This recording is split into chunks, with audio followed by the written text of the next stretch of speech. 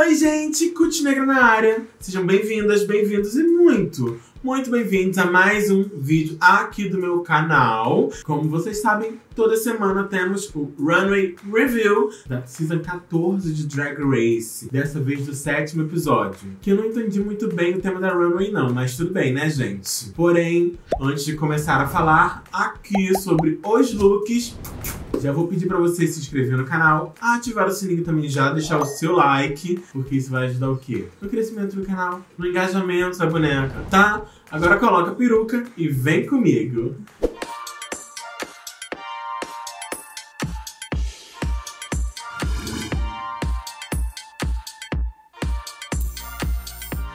Pra começar, vamos falar sobre esse tema. Chaps on the Runway. Você entendeu? Eu demorei pra entender. Eu acho que chaps é aquela silhueta ali, tipo aquela capa de, cal de bota, aquela meia calça, eu não sei gente o que é aquilo de cowboy. E aí eu acho que tem um trocadilho pra chaps, pra tipo, pra cara, ou pra alguma coisa masculina, sabe? E aí voltado pro cowboy.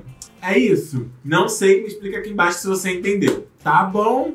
Vamos começar a falar desses looks, que eu até gostei de alguns, outros Ok, tudo bem. E eu trouxe looks das queens que já saíram, não de todas, mas de algumas delas que estão babadeiríssimos também. Mas vamos começar aí a analisar e dar os pontinhos. A primeira da runway foi Dona Willow Pill gente, eu amei esse look. Essa coisa meio sadomaso, eu já falei várias vezes que eu gosto desse, desse negócio aqui. Eu amo esse look maravilhoso, essa coisa brilhosa, esse preto nesse couro. Eu adorei demais. E essas mãos segurando o cabelo aqui de Maria Chiquinha, gente, perfeito. Eu amei muito esse look, gente. Claro que poderia ter algo mais. Porém, o que elas tinham que mostrar aí é justamente a virilha cavada, justamente essa capa de bota, não sei o que, que é isso. Ela mostrou, gente, ela mostrou direitinho, tava perfeita ali, o, o tuck tava ótimo e esse look tava maravilhoso. Então, assim, o Willow Pill abriu muito bem essa ideia meio futurista, uma coisa meio alienígena. Eu adorei muito esse look. Pra mim ela estava perfeita. E a nota pra ela só pode ser o quê? 3, com certeza, porque Dona Willow Pill só está arrasando. E aí depois dela veio Bosco. There is this Bosco.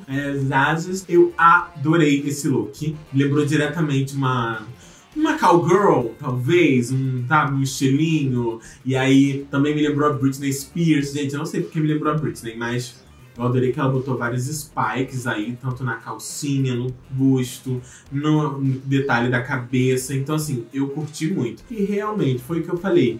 Acho que remete a alguma coisa de cowboy. Então ela veio de cowgirl, digamos assim. Curti. Ela tava maravilhosa pra mim. E a minha nota pra ela vai ser o quê? Também 3, porque ela arrasou nessa runway. A terceira nessa runway foi a dona Deja Sky, que também estava maravilhosa. Eu tô adorando que ela traga essas perucas laranjas, essas coisas ruivas pros looks dela, pras montações, porque eu acho que fica muito lindo nela. Porque a gata é bela, né? E aí, gente, esse look que era a estampa de oncinha com dois tons de azul, eu achei perfeito na minha opinião, tá? Se você não curtiu, tudo bem. Deixa aqui embaixo qual foi seu preferido. Mas esse da Deja, maravilhoso. Essa calça também, essa boca da calça também perfeito, incrível. Eu adorei. O detalhe do busto, assim, do corte do busto do negócio. E aí as mangas bufantes, pra mim estava linda, ela estava maravilhosa. E ela soube entregar. Então, assim, Talvez tenham muitas notas 3 nesse episódio, porque a Deja, por exemplo, é mais uma que ganhou 3. Gente, os looks estavam realmente maravilhosos e foram pouquíssimas as que eu falo assim, hum, não curti, não tá legal, não tá bom. Então, assim, muitas notas 3, tá? Deja Sky, 3 também. Carrie Colby veio com o look todo de cabelo, de pelo, Gente, isso tudo é cabelo, eu acho, tá? Foi o que eu entendi. E agora, mas o detalhe máximo aqui. Pra que que ela veio com aquela haste de chapéu de novo? Gente, não ficou bom no primeiro look que ela usou, entendeu? E não ficou bom nesse look também. O que que ela tá pensando da vida dela? As gatinhas podiam falar assim, ó, Carrie, para de usar isso porque tá ruim, tá feio, entendeu? Tá muito horrível. Esse look até que é legalzinho, mas todo de cabelo não sei se foi uma boa ideia misturar essas duas ideias, ela usou uma, uma coisa básica, uma calcinha básica por baixo. Tava, ai, tava muito estranho esse look pra mim. Mas agora, essa peruca tá milhões, tá perfeita, arrastando no chão, toda de trança aqui, ó. Se ela viesse só de peruca, calcinha e sutiã, pra mim tava perfeita, porque realmente tava muito linda. Então assim, a peruca, ótima. O look, outro. Próximo. Não gostei. Então a minha nota pra ela vai ser... Vou dar dois pra ela porque ela estava bonita, mas esse look realmente faltou um pouquinho pra ser... Hum, aceitável. Georges! Jurou, né? Jurou que um dia ela ia ficar feia. Nunca na vida. Bela, a gata é assim, ó. Perfeita. Eu amei esse look. Vou começar aqui, ó. Perfeito esse look. Maravilhoso com brilho, a silhueta perfeita, os detalhes maravilhosos, a peruca também assim ornou perfeitamente. Mas isso é uma chap. Essa meia calça que ela usou é uma chap. Orna com a ideia cabe dentro do que todas as outras apresentaram. Então, assim, a ideia que eu tenho de Chap, a partir do que todas elas apresentaram, é uma coisa. O que a Georgia fez aqui, para mim, é completamente diferente. Por mais que ela esteja maravilhosa, linda, perfeita, sabe? Incrível, para mim, não estava dentro do tema. Não orna com o que foi pedido. Por mais que ela tenha sido uma das 5, 6 melhores, sei lá quantas foram as melhores. Não sei se mais uma vez ela está aceitável para que seja colocada no local onde ela foi colocada. Já que no outro episódio ela ganhou só com tecido em cima do corpo. Ok? Então, assim, minha nota para Georgios é 2, porque ela estava muito linda, mas ainda assim ela não merece ser uma das melhores do episódio, na minha opinião, porque não coube dentro do tema. Mais um 3, hein? Palmas. Gente, Angeria Paris Van Michaels, bem Golden Girl, bem garota de, sabe? Ai, gente, linda, maravilhosa. Ela tava linda nesse look, dourado, perfeito. Essa a barra igual que a DG Sky fez. E aí essas nessas mangas assim, sabe, essas ombreiras enormes linda, perfeita, esse cabelo ornando muito bem novamente, para não atrapalhar a gente ver o look. Gente, olha, a Angeria pra mim, gente, se ela não for winner, Jesus do céu. Ai, não sei, gente, ela é muito perfeita. Esse look estava muito maravilhoso, ela estava muito linda detalhes, brinco, tudo incrível. Então, assim, Angeria ganharia um 4, um 5, um 6, mas ela vai ganhar 3 porque é a única nota maior que a gente tem, tá? Então, 3 para Angeria Paris Van Michaels também.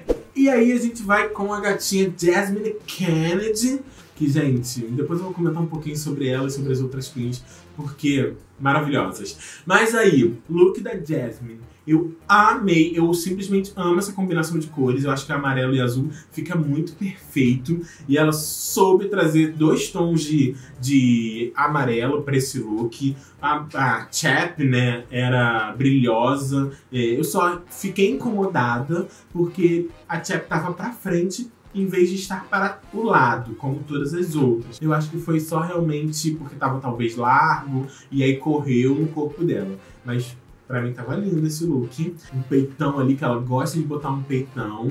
Silhueta também muito linda.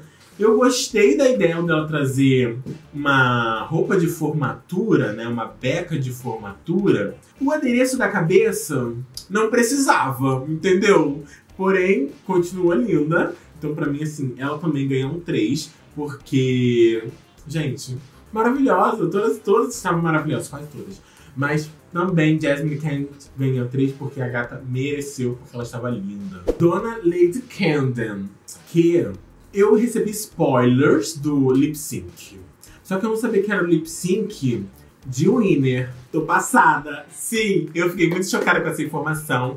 E eu vi ela fazendo lip sync com o bigode contra a Daya Betty. E aí, gente, não acredito que uma delas vai sair. Eu tô muito na torcida, tô muito gostando delas duas. E aí eu fiquei chocada. E aí, quando eu vi o episódio, eu falei assim: ah, mentira! O tombo real. Pra mim, aquele tombo foi real. Ela deve ter se machucado naquele tombo, porque foi sério aquilo ali.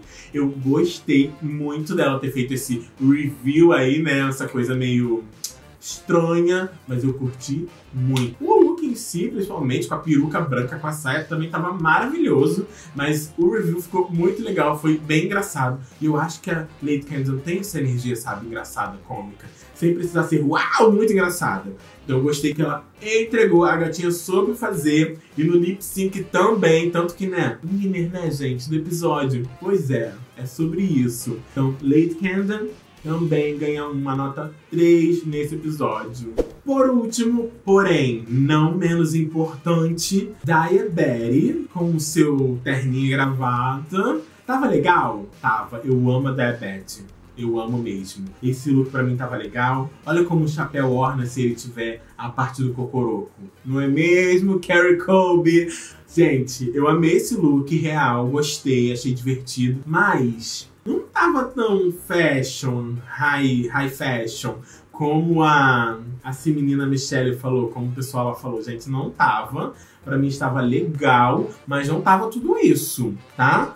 Ama da Betty, mas assim, não tá, não chegou lá pra mim nesse episódio, tá? Então, neste episódio, com este look apenas, mesmo que ela tenha ido pro lip sync das winners, mesmo que ela tenha sido a, a, a, segunda melhor do episódio, gente, eu, na minha opinião, não curti muito esse look. E aí, a minha nota para ela vai ser 2. Sim, gente, vai ser 2. Porque maravilhosa sim, porém não tanto, na minha opinião, gente tá? Se você curtiu, deixa o like nesse vídeo. Se você curtiu, comenta aqui embaixo. Da Better Forever, aqui ó, hashtag winner.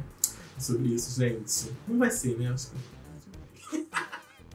E aí, como eu disse, eu trouxe looks de outras três gatinhas que já foram eliminadas. Infelizmente, não foram todas elas que postaram, né, o look, a ideia de look para essa runway, mas essas três aqui postaram e eu vou falar também um pouquinho deles. Primeiramente, Johnny Jambalaya, que trouxe uma coisa, um couro de cobra aí, né, com duas cores. Eu gostei muito. E aí, esse look dela me dá a ideia de que, chaps, será que é fenda? Não sei, gente. Não entendi direito ainda, mas talvez seja isso uma coisa de fenda, uma coisa que seja tenha essa pegada cômica de duplo sentido com aquele negócio dos cowboys. Então pode ter sido isso. Eu curti mesmo, real, oficial, mas eu acho que deveria ter um pouco de pele pra gente, sabe, sentir o impacto desse look. Mas ainda assim eu gostei. Agora, gente, a última eliminada, Mad Morphoses, Sério, se ela estivesse no programa, eu acho que ela ia entregar muito bem com esse look.